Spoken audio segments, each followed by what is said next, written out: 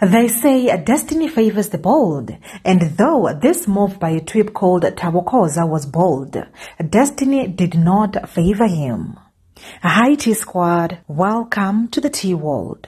The tweep shot his shot publicly to DJ and Metro FM presenter Lerato Kganyago. A uh, T Squad, honestly speaking, who can blame him? LKG is not only beautiful, but stylish and industrious. Atabo made a collage of his picture and LKG's.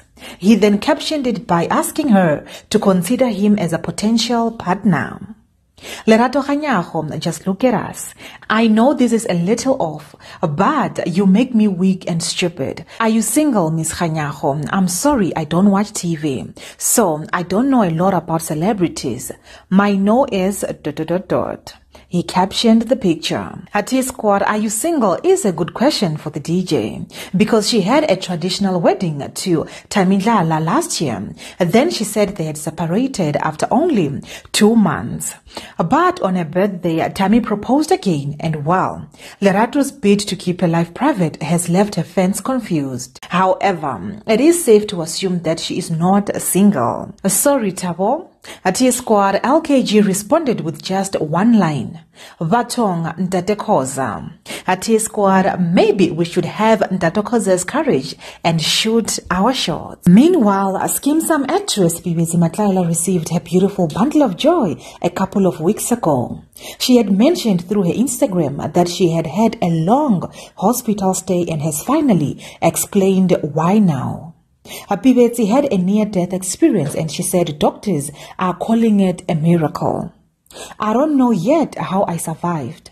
I'm told most women don't. I cannot wrap my head around it yet. I am told we were brought back from death. We defied science. We escaped death and shocked doctor. The actress told her fans.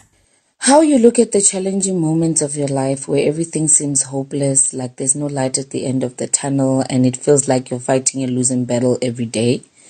How you look at those challenging moments will determine your outcome. Are you looking at them as a punishment from your past mistakes? Are you looking at those challenging moments as a test of your faith?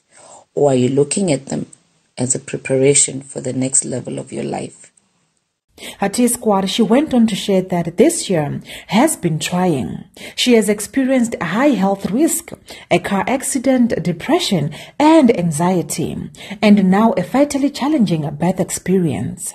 At Squad, Pebetsi credited the fact that she was still alive to God. God's promise is that no weapon formed against me shall prosper.